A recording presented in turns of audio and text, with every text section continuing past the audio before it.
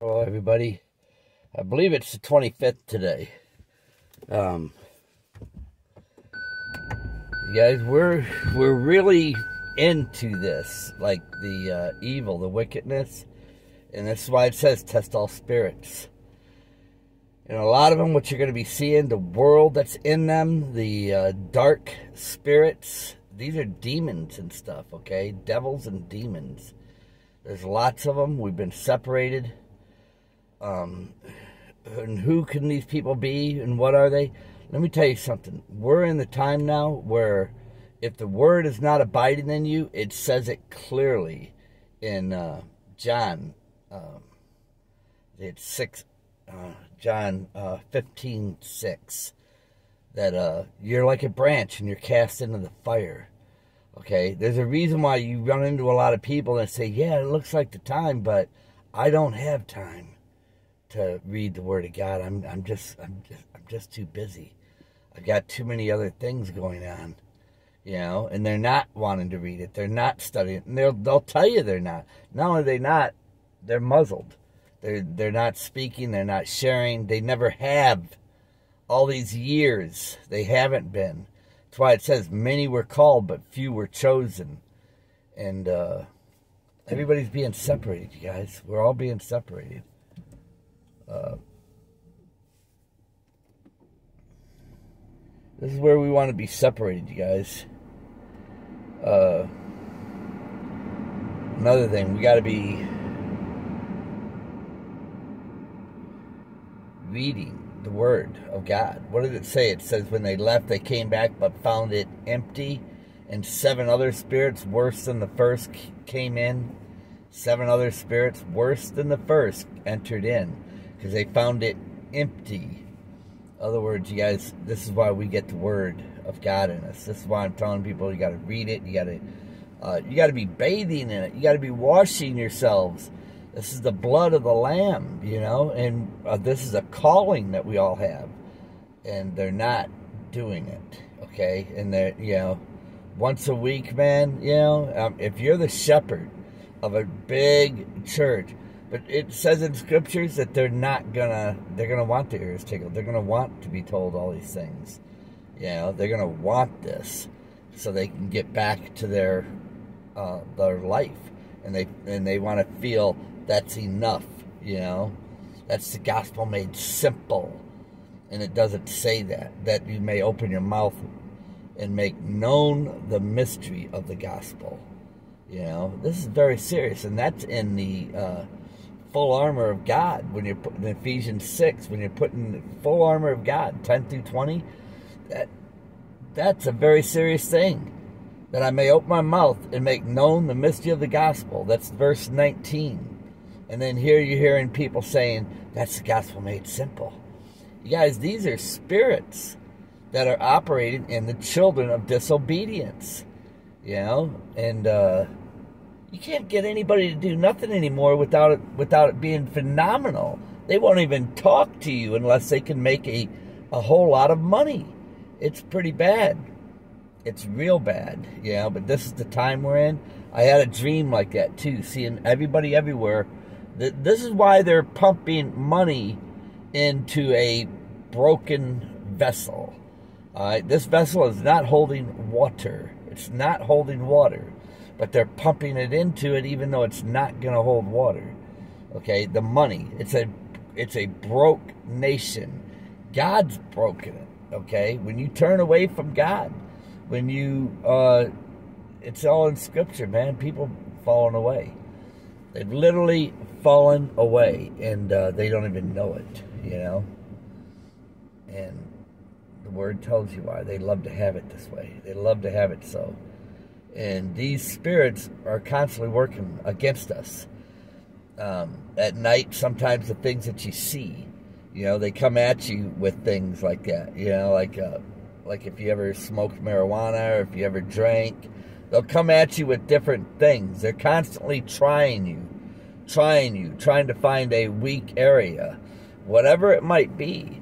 You know, but that's why in the evenings, a lot of times we're getting attacks like that and they focus more on those that are out there trying to warn people and talking a lot, you know. But not only that, you guys, if you're not having these attacks and you do, and you are aware and you're staying close, great. That's great. You know, I come across this a lot though. I had that time when we were doing that live. I went over there to that restaurant to grab me a salad or something to bring back to the room, and uh, I was witnessing over there to people. And then when I came back to the room, they were all over me, man. Spirits all over the place. They weren't there before. And then when I left and came back, they were all over me. And I probably got them from over at that restaurant, and that's what they do. You know, you guys, we're in uh, spiritual warfare here, man, and everybody needs to pray, pray, and stay in the Word. Read the Word uh, from Genesis to Revelation, from the beginning to the end, the Alpha, the Omega. You know, we have to be in it constantly, man. And uh, don't grieve the Holy Spirit where you've been sealed till the day of redemption, man. And that's what they're doing. They're constantly trying. You know, last night I had a dream where I seen like like military people, man, that were you know, they were they lost a lot of body parts. Like their arms and their legs. And then there were these physicians coming in. Physicians.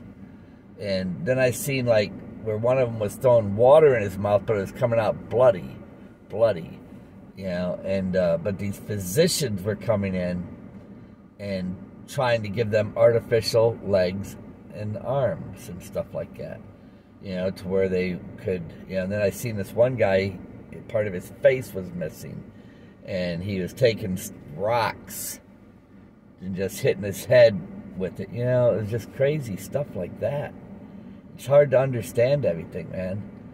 Uh,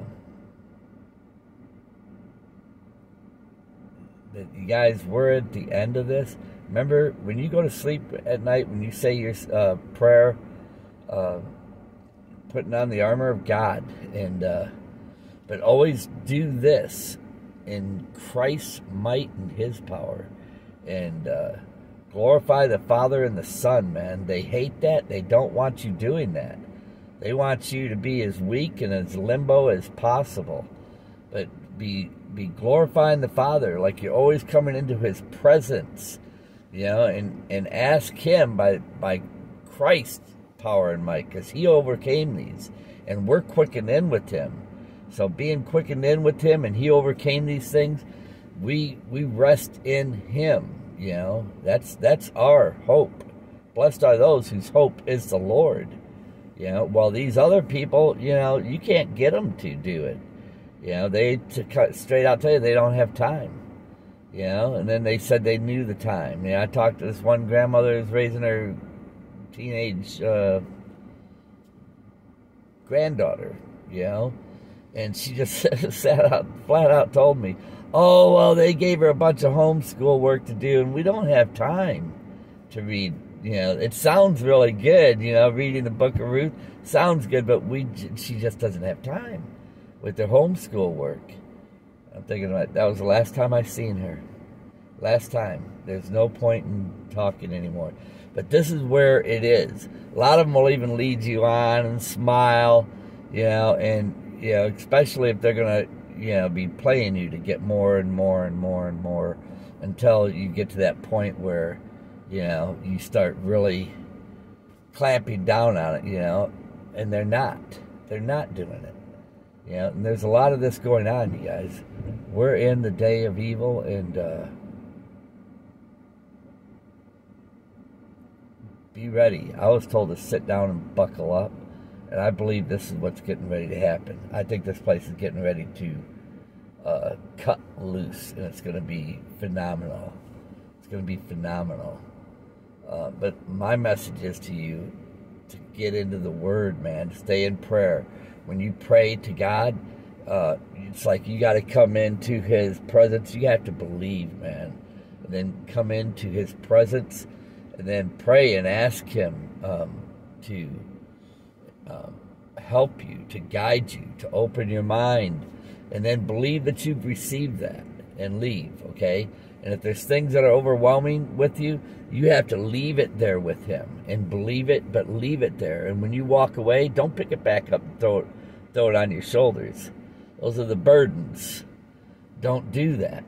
You know, leave them right there. When you go and you pray and you ask Him something, leave the burdens there. You know, don't carry them anymore. We're not supposed to carry them, the burdens. You know, I could see mules or donkeys or something like that carrying backpack loads, but sheep, I've never heard of that. Never heard of sheep carrying burdens and stuff like that, or backpacks and stuff like that. We're not supposed to be doing these things. There's a lot of things out there, you guys. Uh, the enemy's trying to see all these people rushing, trying to make their money really quick. What they're doing, I had a dream. It's for nothing. It's for nothing.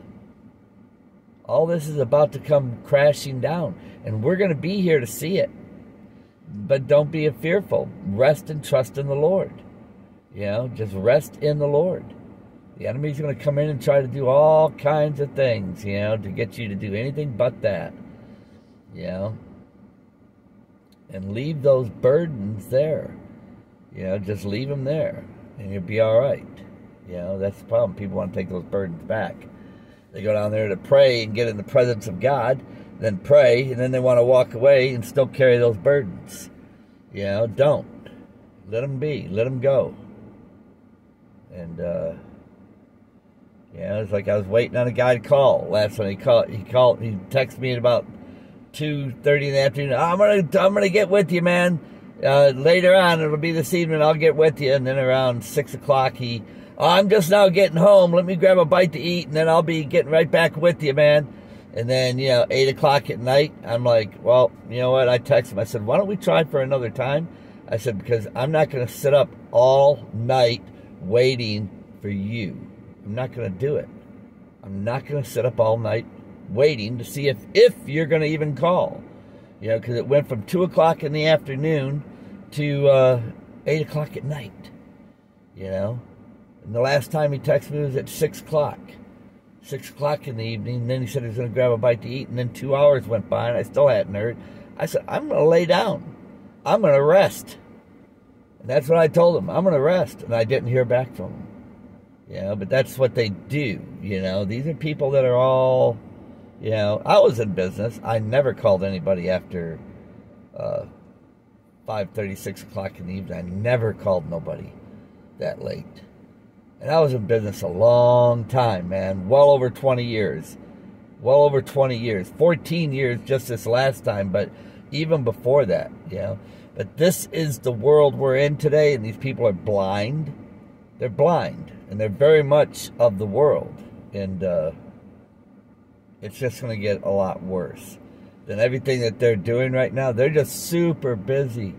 Last time I see this guy said that he he hadn't had taken a day off in 40 days.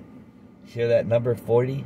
It's exactly what he said. Me and my guys, we ain't had a day off in over 40 days, man. We're busy. You know? And then, you know, the times we're living in, you know, I think it would be a good idea to get busy uh, and get some understanding about the truth, what's really going on, but they're not. They're going right back at it full blast, doing what they vote, what they do. You know, and this is where their heart is. It's really not in God. It's not in Christ. You know, that's why it says, know that you've been bought with a price. Therefore, glorify God in your bodies, in your vessels. You've been bought with a price, man. And we got to remember, we belong now to Christ, to God. He redeemed us back to the Father. You know, and we know God's right now, He's doing all this. He's taking it all apart. I'm going to come on live here in a little while, you guys, and I'll be uploading a video, okay? Or coming on live, and we're going to be reading some scriptures as well. But uh, we got to dedicate our time to the Lord. You know, that's why we have an understanding that the world can't receive. You know, they can't receive it, no matter what we say, because they got that other spirits working on them. You know, and uh, it's really doing a number on them. No matter what we say, they won't do it. You know, they got to come to Christ, man, that He can heal them, that He can heal them. We can't. We can sit there and try to tell them and tell them and tell them and tell them, and know, and they know, oh yeah, I can see it, man. Oh, but you know, the cares of this life, man. Uh, you know, it's coming to an end here, man. Stay strong, you guys. God bless you in the name of our Lord and our Savior, Jesus Christ.